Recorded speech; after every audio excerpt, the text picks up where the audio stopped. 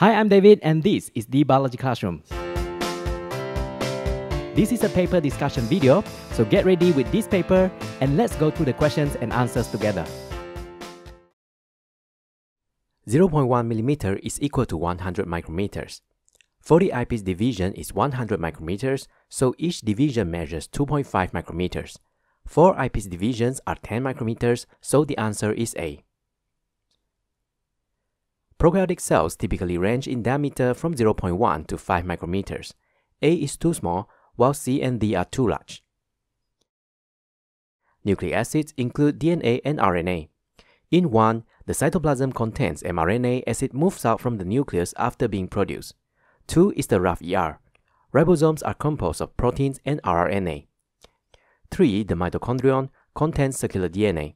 It also has 70S ribosomes. Introns are the non-coding sequences of DNA or RNA within a gene. Bacteria generally have very few or completely lack introns. Telomeres are protective caps of repetitive DNA sequences located at the ends of chromosomes. They have circular DNA, meaning that there are no ends in their chromosomes.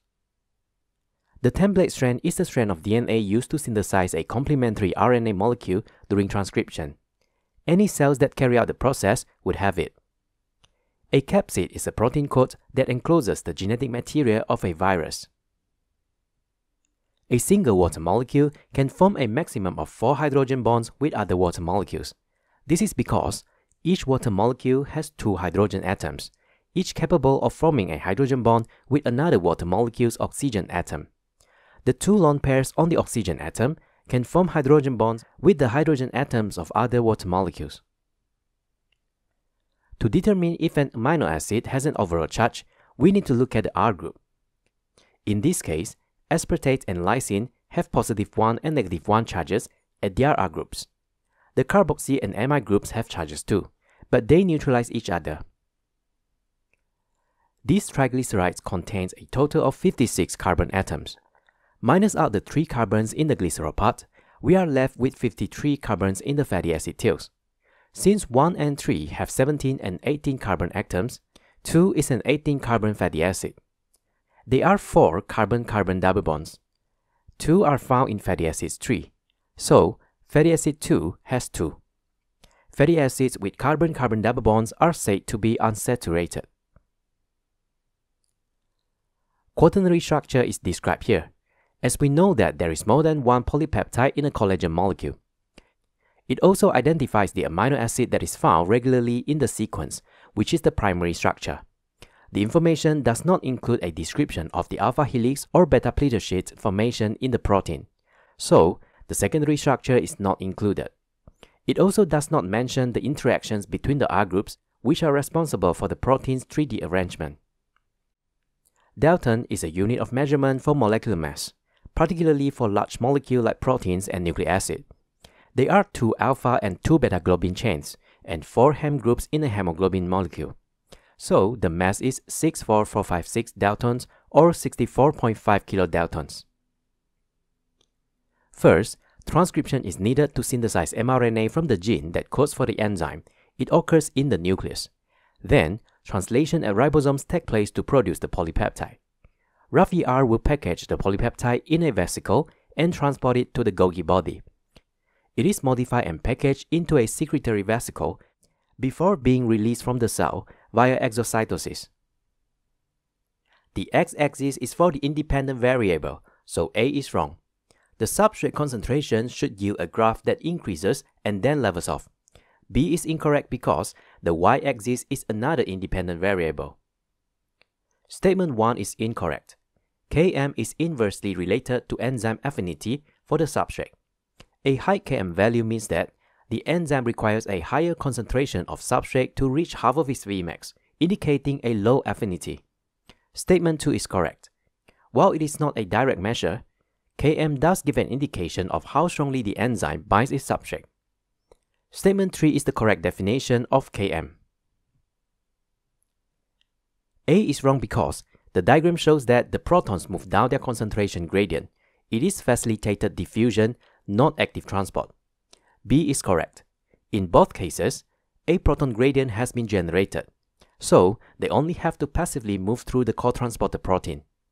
C is correct for this diagram, but incorrect for sucrose. In phloem tissue, protons and sucrose move together from the apoplast into the companion cells. D is wrong. The co-transporter proteins facilitates the diffusion of protons, a process that does not require energy. 1 is true. All enzymes are globular proteins. 2 is incorrect. If they have the same tertiary structure, they would have the same active sites. It would be impossible for them to bind to different substrates as the diagram suggests. All proteins are made up of C, H, O, and N, so 3 is correct. Slide 1 indicates that the cell have burst. This means the water potential of the salt solution is higher than that of the cell cytoplasm, leading to water moving into the cell by osmosis. So, C is incorrect. In slide 2, water leaves the cell by osmosis, causing them to be crenated. This indicates that the water potential of the cell is higher than that of the solution. Only B described this correctly. B is the correct definition. Channel proteins do not change shape while carrier proteins do. A and D are wrong because they state that only one type of transport protein is possible. Facilitated diffusion is a passive movement. No energy is required. Stem cells can produce new cells for tissue repair and regeneration. It does not repair cells. Cell repair refers to the processes by which cells fix damage to their components, such as proteins, DNA, and membranes, to maintain cellular health and function. Stem cells in the bone marrow can divide and specialize into various blood cells, including phagocytes. The cell on the left shows metaphase, where the chromosomes align at the equator of the spindle. The one on the right shows late anaphase or early telophase, as the chromosomes have arrived at the opposite poles. X should be in anaphase, where the sister chromatids separate and begin to move to the opposite poles due to the contraction of spindle fibers. This is correctly described in option D. A describes metaphase and B is about prophase. C does not take place in mitosis as homologous chromosomes would not pair up. This option describes metaphase 1 in meiosis. X is the distance of the centromeres from the poles of the spindle. In anaphase, centromeres divide and begin moving to the poles, resulting in a decrease in the distance between them. The poles should be further apart as mitosis proceeds. Therefore, A and B are incorrect. Y is the distance between sister chromatids. Before centromeres divide, it does not exist. Afterwards, the chromatids move toward the opposite poles, leading to an increasing distance. All four options are correct about the form of DNA, the sister chromatids start to separate and they are in the condensed form called chromosomes.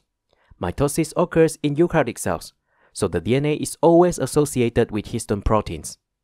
The cell surface membrane would never break during the process, only the nuclear envelope breaks down.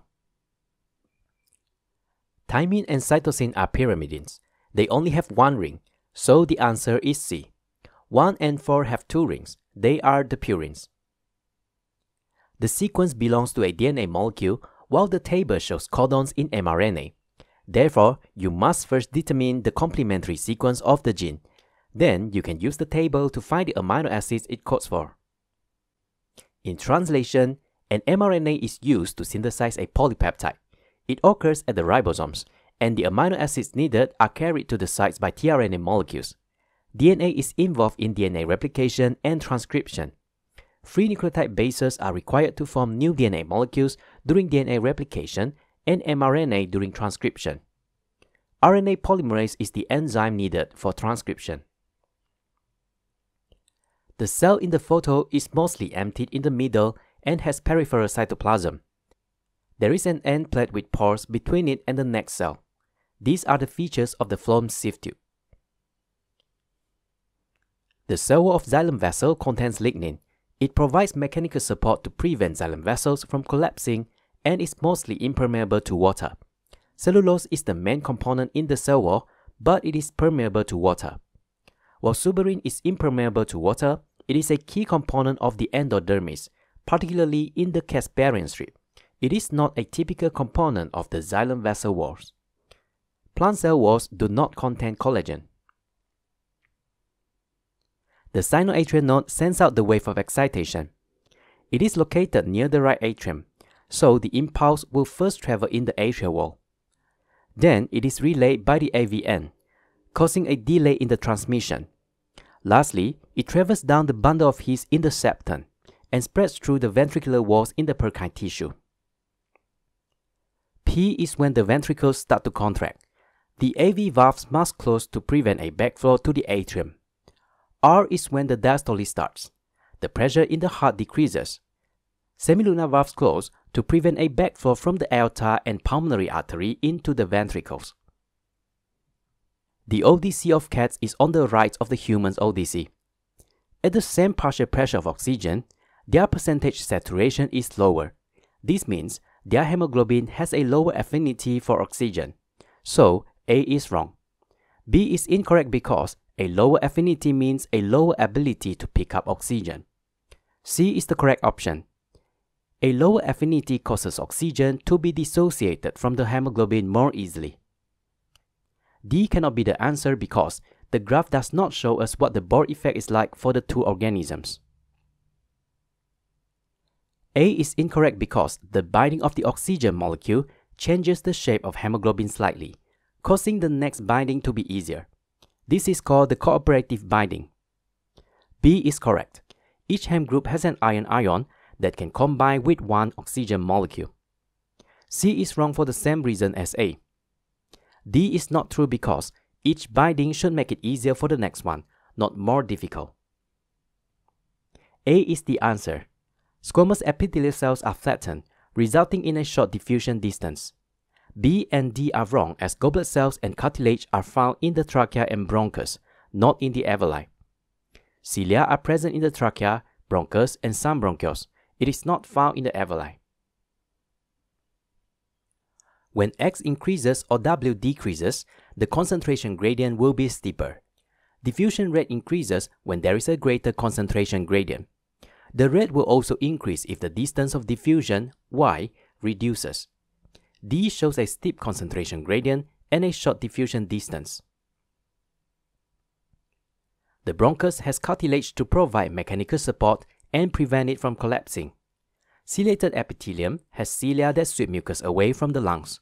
This helps to remove particles trapped in the mucus. Smooth muscle helps to regulate airflow by changing the size of the airways. Alveoli recoil to expel air from the alveolar space. This causes the carbon dioxide-rich air to be continuously removed, allowing more oxygen-rich air to enter during the next inhalation. The continuous supply of deoxygenated blood ensures that the concentration of oxygen is always higher in the alveolar space than in the blood, and the opposite for carbon dioxide. The percentage decrease is calculated by the final minus the initial divided by the initial times 100. The first treatment uses antibiotic on top of rehydration therapy, resulted in a further reduction compared to the second treatment, so we consider this as the final value. It shows us the effect of antibiotics. It is about 39.6%. Penicillin causes a weaker cell wall in bacteria by preventing the cross-linking of peptidoglycan molecules during cell multiplication. B correctly described this. It does not catalyze nor inhibit the digestion or hydrolysis of the cell wall material. A is also incorrect because it does not affect osmosis. The percentage increase is calculated by the final minus the initial divided by the initial times 100. The answer is 650%. The use of antibiotics is for treatment, not prevention. Moreover, using them as a preventive measure may help other organisms in the body to develop antibiotic resistance. C describes passive immunity. Once the antibody concentration decreases, the protection is gone. D describes vaccination. It stimulates the immune response in the infant, causing the development of memory cells, which leads to longer term protection. The extensive network of rough ER shows that the cell has a high rate of protein synthesis. Judging from the circular and large nucleus, it is a lymphocyte. A lymphocyte that secretes a lot of proteins is a plasma B cell, as it is specialized in antibody production. A describes a killer T lymphocyte. C is wrong because white blood cells do not need to secrete antigens. D is a phagocyte. Neutrophil has a multilobe nucleus and monocyte has a horseshoe-shaped nucleus. A is the answer because B lymphocytes first carry out clonal expansion by mitosis. Then, some of the cells undergo specialization or differentiation to form plasma B cells. B requires protein synthesis. C is wrong because neutrophils are specialized cells. They can no longer divide. Furthermore, mitosis has nothing to do with their ability to engulf pathogens. D describes clonal selection. A B lymphocyte is fused with a myeloma cell. It is a cancerous cell that can divide infinitely. This enables the hybridoma cells to undergo mitosis when grown in culture. An antigen is a specific molecule, usually a protein or glycoprotein found on the surface of a cell or other substance that can trigger an immune response. In immunology, a clone refers to a group of cells descended from a single cell. A macrophage is a type of white blood cell that engulfs foreign particles and dead or damaged cells through a process called phagocytosis.